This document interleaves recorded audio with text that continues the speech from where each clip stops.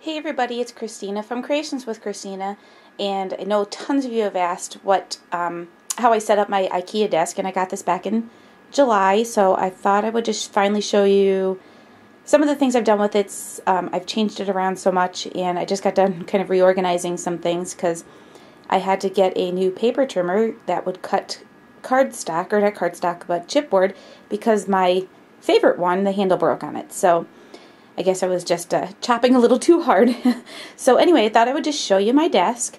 Um, and the pink mat on my desk, that is a Tattered Angels spray mat. Uh, I got that for Christmas. Scott gave me that for Christmas, and I love it. It takes up a nice portion of my desk. I just leave it there permanently, and um, which is you know nice to have, and I don't have to worry about spraying and cleaning up the glass all the time, which I do anyway. So um, anyway, let me just show you some of the things on my desk.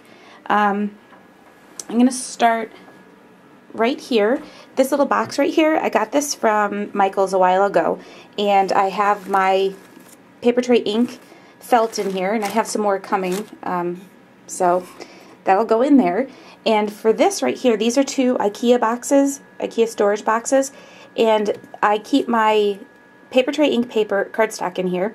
And what I did was is I just took a page protector. I'll just show you how it, what I did with that. A page protector, and open, when I open up the packages, I just kind of cut off the side here that goes um, in a binder, and I just stick all of my paper in here. And I usually order the packs that hold 20 or that come with 24. Um, when I reorder, I usually when I start to get low, I order the smaller pack, which is the 12. Um, so, except for like my basic colors, which are like my blacks and browns and, and stuff like that. I always order the, the bigger ones.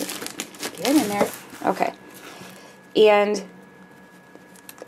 I also, see, I order, order, as soon as I start to get low, I order a full pack of the, my everyday colors, black and, and stuff. So, so that is my Papertrey Ink storage. And what I like too is that I just stick um, right in the front of these my extra pieces.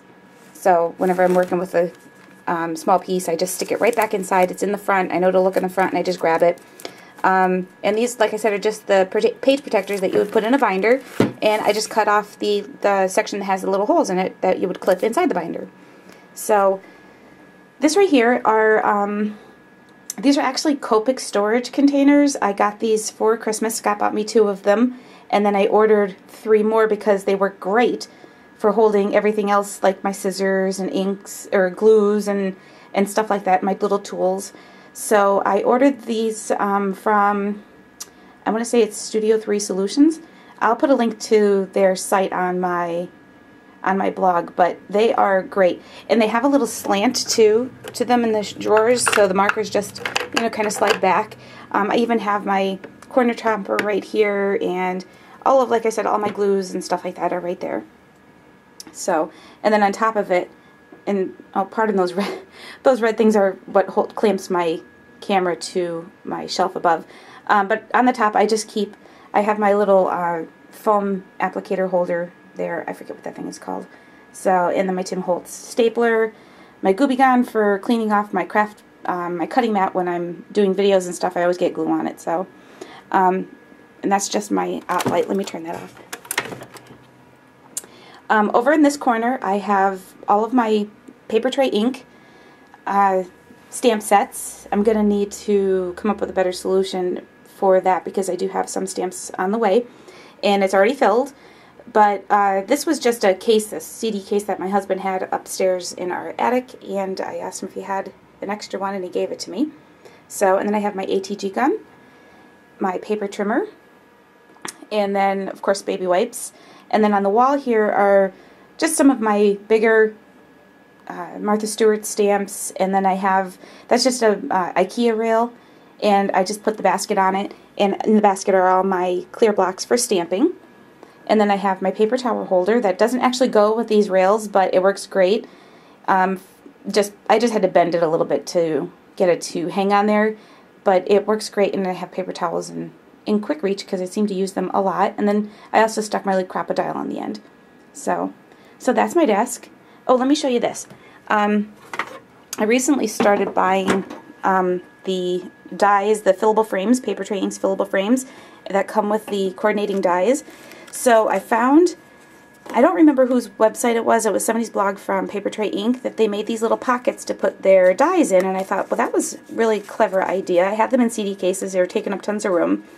Um, so I just made little cases or little um, holders for it with some cardstock and then I sewed some transparency film right on the front and it's a pocket big enough to hold my dies.